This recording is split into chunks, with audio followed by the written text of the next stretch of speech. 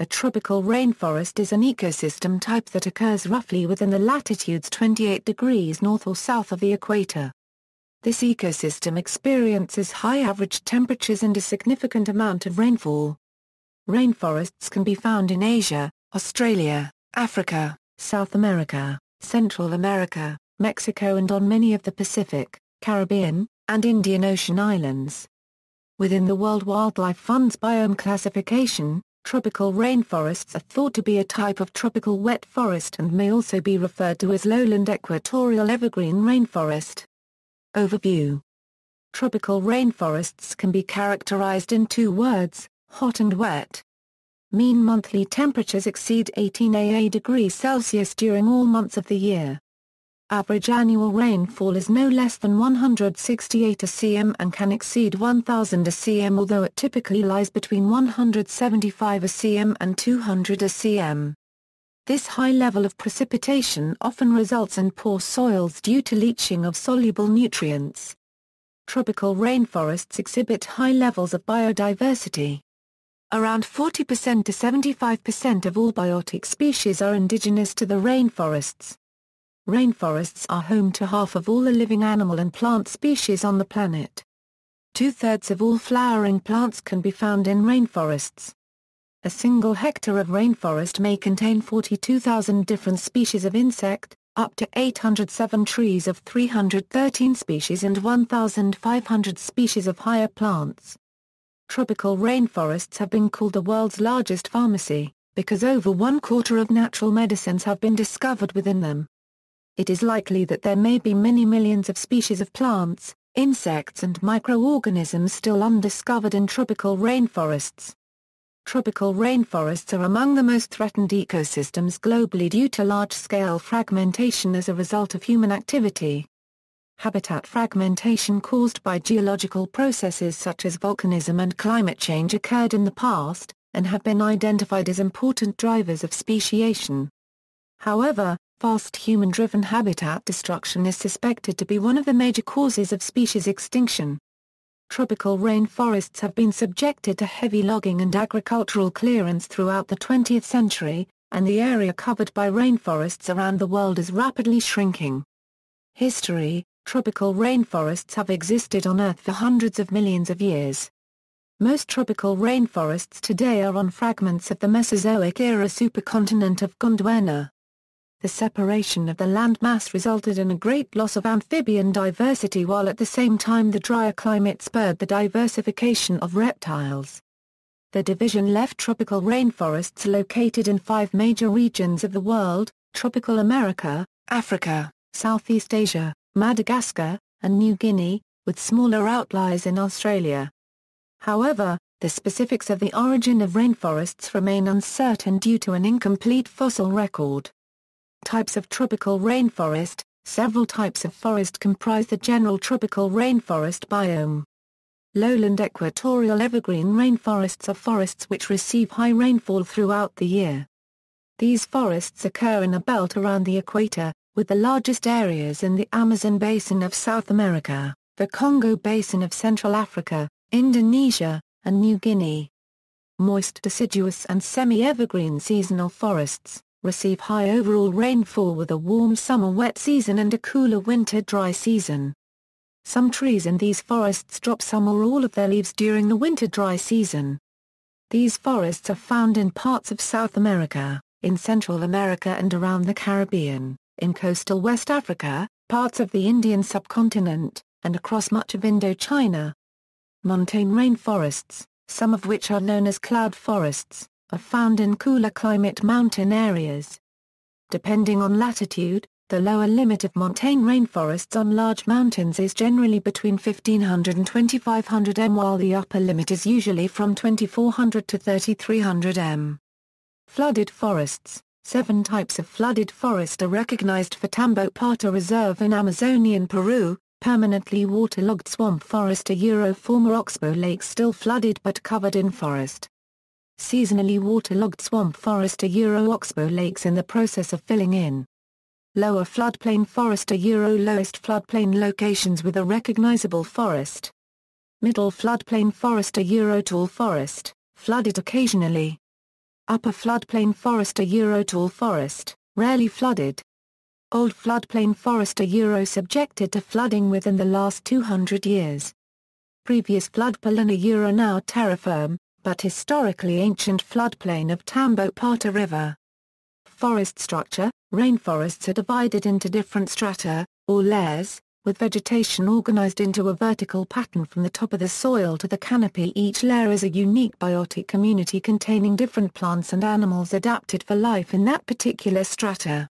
Only the emergent layer is unique to tropical rainforests, while the others are also found in temperate rainforests. Forest floor The forest floor, the bottommost layer, receives only 2% of the sunlight.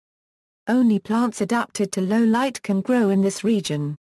Away from riverbanks, swamps and clearings, where dense undergrowth is found, the forest floor is relatively clear of vegetation because of the low sunlight penetration. This more open quality permits the easy movement of larger animals such as, ungulates like the okapi, tapir, Sumatran rhinoceros, and apes like the western lowland gorilla, as well as many species of reptiles, amphibians, and insects. The forest floor also contains decaying plant and animal matter, which disappears quickly, because the warm, humid conditions promote rapid decay. Many forms of fungi growing here help decay the animal and plant waste. Understory layer The understory layer lies between the canopy and the forest floor.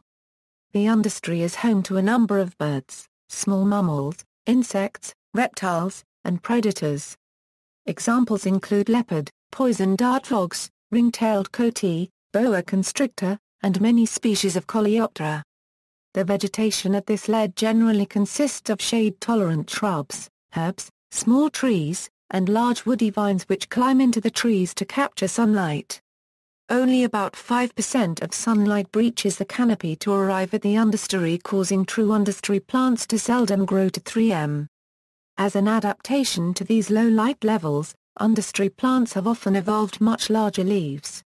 Many seedlings that will grow to the canopy level are in the understory.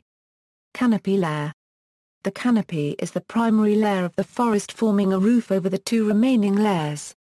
It contains the majority of the largest trees, typically 30 euro 45 m in height.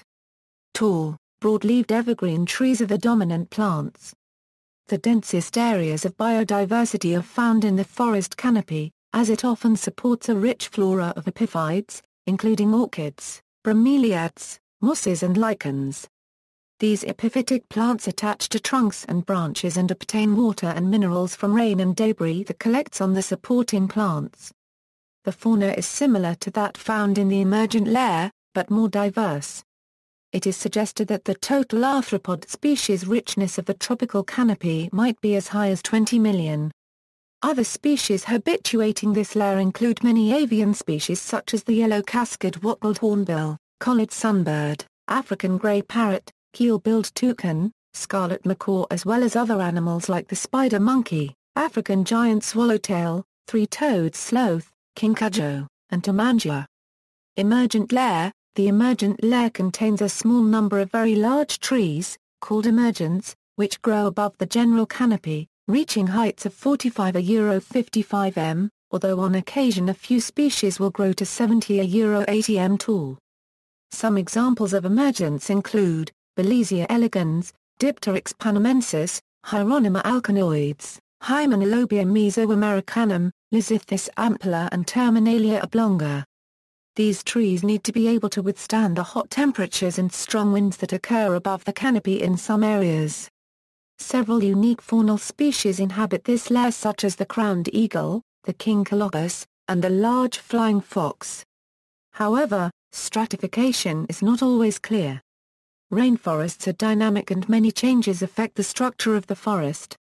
Emergent or canopy trees collapse, for example, causing gaps to form. Openings in the forest canopy are widely recognized as important for the establishment and growth of rainforest trees. ETA Euro unregistered trademark S estimated that perhaps 75% of the tree species at La Selva Biological Station, Costa Rica are dependent on canopy opening for seed germination or for growth beyond sapling size, for example. Ecology, climate, Most tropical rainforests are located around and near the equator, therefore having what is called an equatorial climate characterized by three major climatic parameters, temperature, rainfall, and dry season intensity. Other parameters that affect tropical rainforests are carbon dioxide concentrations, solar radiation, and nitrogen availability. In general, climatic patterns consist of warm temperatures and high annual rainfall. However, the abundance of rainfall changes throughout the year creating distinct wet and dry seasons. Rainforests are classified by the amount of rainfall received each year, which has allowed ecologists to define differences in these forests that look so similar in structure. According to Holdridge a Euro unregistered trademark S classification of tropical ecosystems, True tropical rainforests have an annual rainfall greater than 800 cm and annual temperature greater than 24 degrees Celsius. However, most lowland tropical rainforests can be classified as tropical moist or wet forests, which differ in regards to rainfall. Tropical rainforest ecology dynamics, composition, and function are sensitive to changes in climate especially changes in rainfall. The climate of these forests is controlled by a band of clouds called the Intertropical Convergence Zone located near the equator and created by the convergence of the trade winds from the northern and southern hemispheres. The position of the band varies seasonally, moving north in the northern summer and south in the northern winter, and ultimately controlling the wet and dry seasons in the tropics. These regions have experienced strong warming at a mean rate of 0.26 degrees Celsius per decade which coincides with a global rise in temperature resulting from the anthropogenic inputs of greenhouse gases into the atmosphere. Studies have also found that precipitation has declined and tropical Asia has experienced an increase in dry season intensity whereas Amazonia has no significant pattern change in precipitation or dry season. Additionally, El Niño plus or minus O southern oscillation events drive the interannual climatic variability in temperature and precipitation and result in drought and increased intensity of the dry season. As anthropogenic warming increases the intensity and frequency of ENSO will increase, rendering tropical rainforest regions susceptible to stress and increased mortality of trees and plants. Soils, soil types, Soil types are highly variable in the tropics and are the result of a combination of several variables such as climate, vegetation, topographic position, parent material, and soil age. Most tropical soils are characterized by significant leaching and poor nutrients. However there are some areas that contain fertile soils. Soils throughout the tropical rainforests fall into two classifications which include the ultisols and oxisols. Ultisols are known as well-weathered, acidic red clay soils, deficient in major nutrients such as calcium and potassium. Similarly, oxisols are acidic, old, typically reddish, highly weathered and leached, however are well drained compared to ultisols. The clay content of ultisols is high, making it difficult for water to penetrate and flow through. The reddish color of both soils is the result of heavy heat and moisture forming oxides of iron and aluminum, which are insoluble in water and not taken up readily by plants. Soil chemical and physical characteristics are strongly related to above-ground productivity and forest structure and dynamics. The physical properties of soil control the tree turnover rates whereas chemical properties such as available nitrogen and phosphorus control forest growth rates. The soils of the eastern and central Amazon as well as the Southeast Asian rainforest are old and mineral poor whereas the soils of the western Amazon and volcanic areas of Costa Rica are young and mineral rich. Primary productivity or wood production is highest in western Amazon and lowest in eastern Amazon which contains heavily weathered soils classified as oxisols. Additionally, Amazonian soils greatly weathered, making them devoid of minerals like phosphorus, potassium, calcium, and magnesium, which come from rock sources. However, not all tropical rainforests occur on nutrient-poor soils, but on nutrient-rich floodplains and volcanic soils located in the Andean foothills, and volcanic areas of Southeast Asia, Africa, and Central America.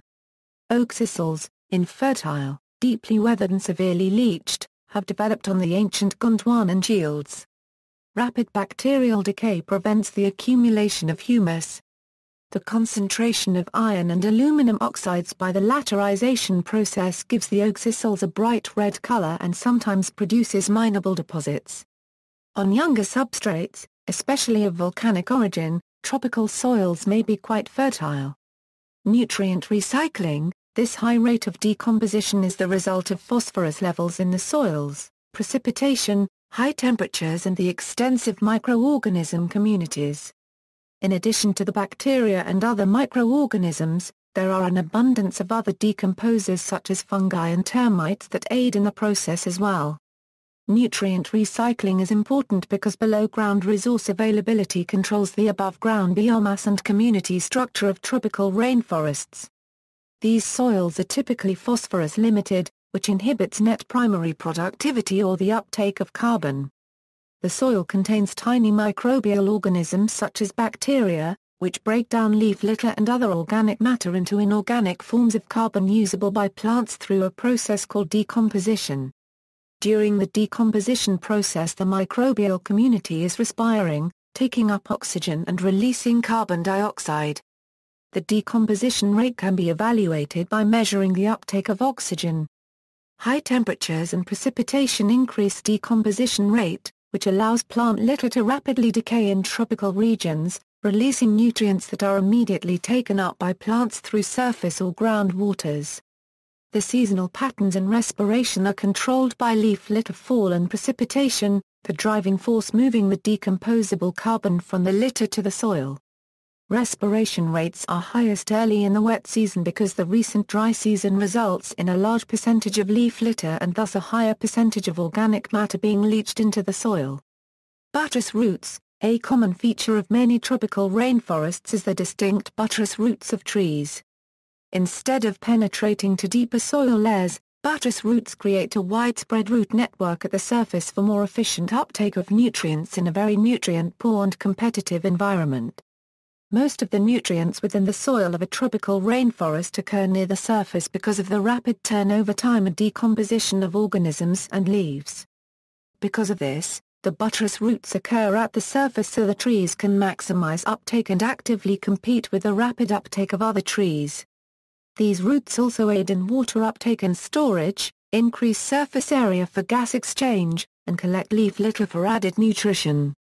Additionally, these roots reduce soil erosion and maximize nutrient acquisition during heavy rains by diverting nutrient-rich water flowing down the trunk into several smaller flows while also acting as a barrier to ground flow.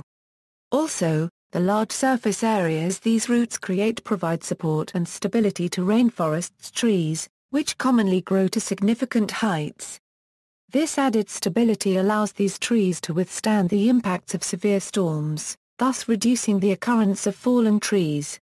Forest succession Succession is an ecological process that changes the biotic community structure over time towards a more stable, diverse community structure after an initial disturbance to the community. The initial disturbance is often a natural phenomenon or human-caused event. Natural disturbances include hurricanes, volcanic eruptions, river movements or an event as small as a fallen tree that creates gaps in the forest. In tropical rainforests, these same natural disturbances have been well documented in the fossil record, and are credited with encouraging speciation and endemism. Geography South and Central America, Amazon rainforest, Atlantic forest, Africa, Ituri rainforest, Kilauea forest, Madagascar lowland forests, Asia, Harapan rainforest, Australasia and Oceania, Daintree rainforest, Hawaiian tropical rainforests, biodiversity and speciation. Tropical rainforests exhibit a vast diversity in plant and animal species. The route for this remarkable speciation has been a query of scientists and ecologists for years. A number of theories have been developed for why and how the tropics can be so diverse. Interspecific competition Interspecific competition results from a high density of species with similar niches in the tropics and limited resources available. Species which lose the competition may either become extinct or find a new niche. Direct competition will often lead to one species dominating another by some advantage, ultimately driving it to extinction. Niche partitioning is the other option for a species. This is the separation and rationing of necessary resources by utilizing different habitats, food sources, cover or general behavioral differences. A species with similar food items but different feeding times is an example of niche partitioning. Pleistocene refugia The theory of Pleistocene refugia was developed by Jawan Kortara G. N. Haffer in 1969 with his article Speciation of Amazonian Forest Birds.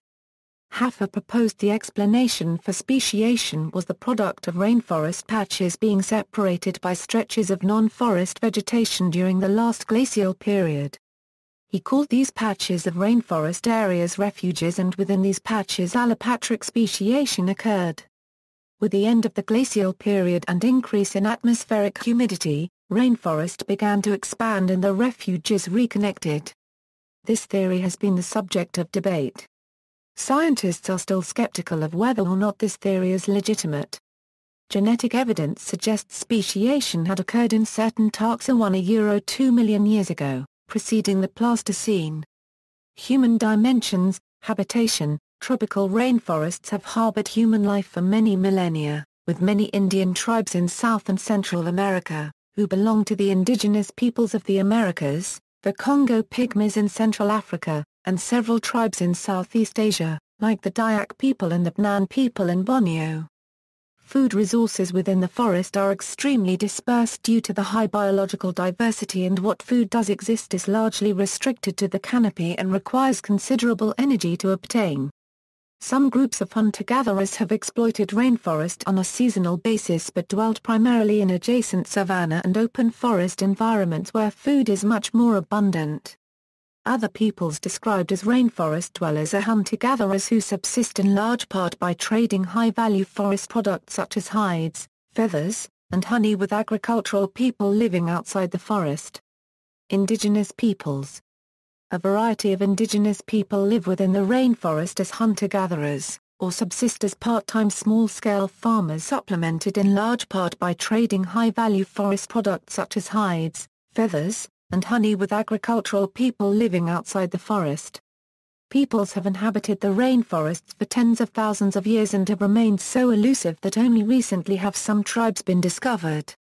These indigenous peoples are greatly threatened by loggers in search for old-growth tropical hardwoods like ipe, cumaru and wenge, and by farmers who are looking to expand their land, for cattle, meat, and soybeans, which are used to feed cattle in Europe and China.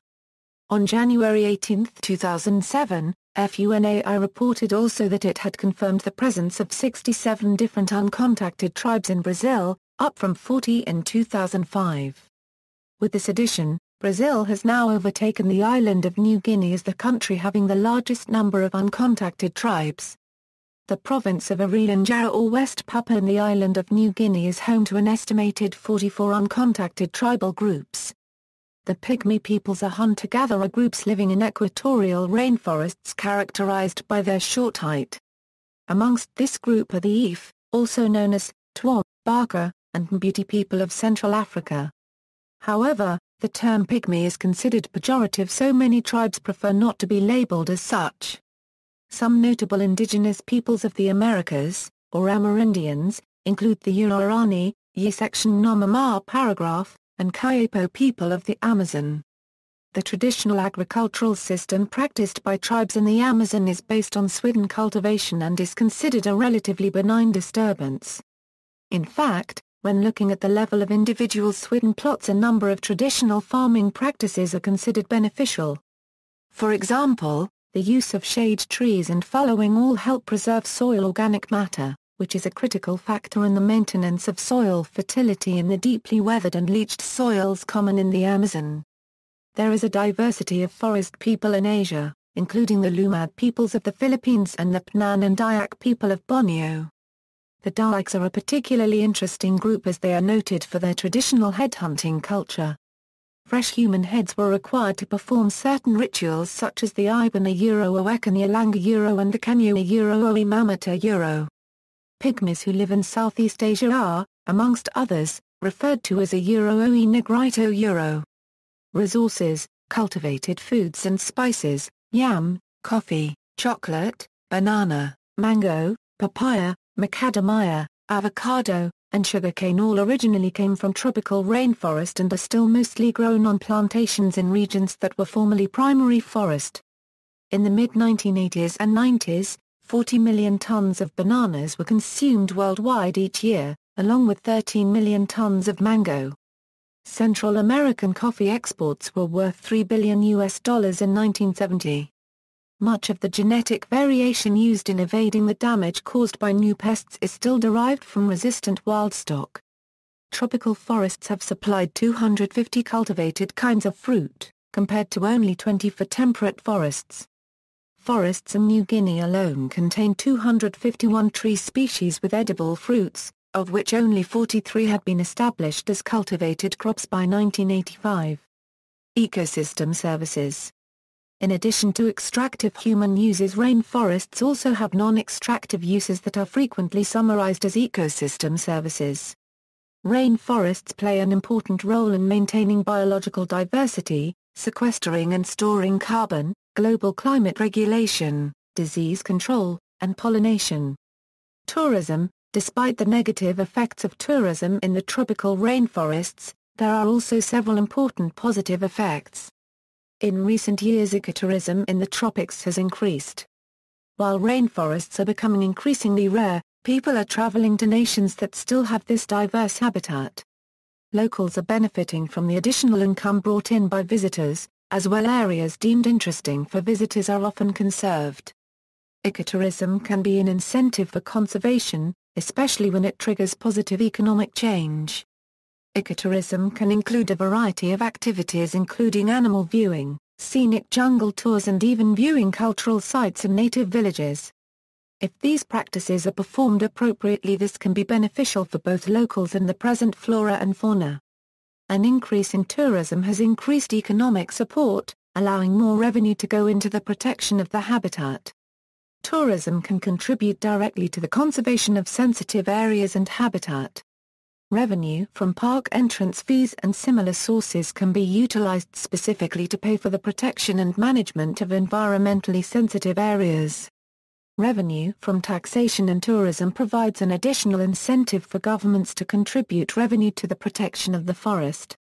Tourism also has the potential to increase public appreciation of the environment and to spread awareness of environmental problems when it brings people into closer contact with the environment.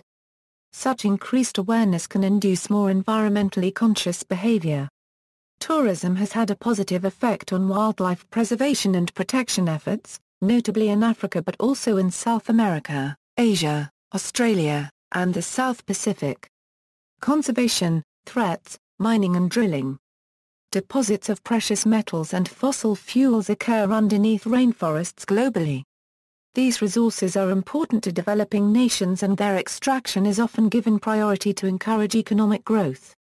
Mining and drilling can require large amounts of land development, directly causing deforestation. In Ghana, a West African nation, deforestation from decades of mining activity left about 12% of the country's original rainforest intact. Conversion to agricultural land With the invention of agriculture, humans were able to clear sections of rainforest to produce crops, converting it to open farmland. Such people, however, obtain their food primarily from farm plots cleared from the forest and hunt and forage within the forest to supplement this.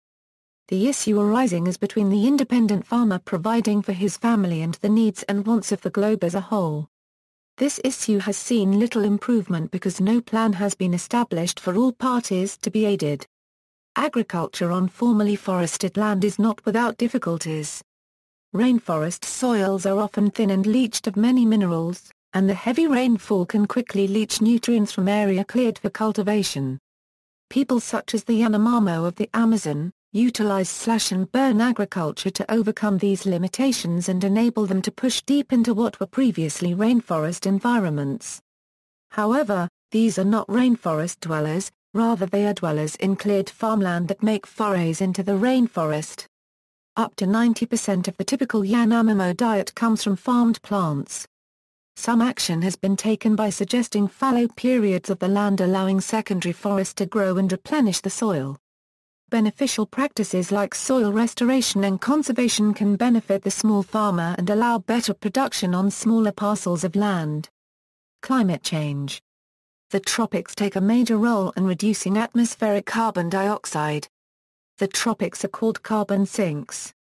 As major carbon reducers and carbon and soil methane storages, their destruction contributes to increasing global energy trapping, atmospheric gases. Climate change has been significantly contributed to by the destruction of the rainforests. A simulation was performed in which all rainforest in Africa were removed. The simulation showed an increase in atmospheric temperature by 2.5 to 5 degrees Celsius.